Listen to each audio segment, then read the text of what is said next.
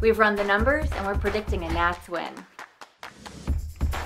Our marketing analysis shows conclusively that DC is the city for global business, international relations, cricket, and most importantly, baseball.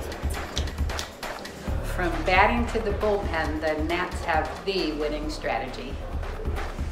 Research shows that organizations with great team chemistry are more likely to win. Baby Shark, baby.